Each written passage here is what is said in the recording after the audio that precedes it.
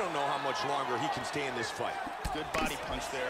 Michael Bisping's got to be very... Oh, he got tagged again. He's Trying hurt. to stay out of trouble here. Oh, jumping knee. Big power jab.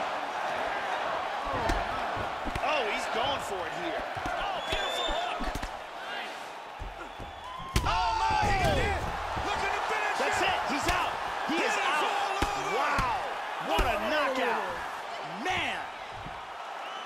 Michael Bisping by knockout. Man.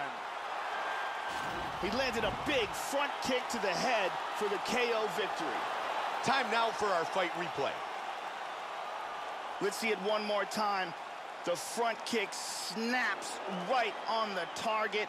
Absolute perfect technique. And that is the end of this fight. And here it is again. Boom! Wow! With the official decision, here is Bruce Buffer.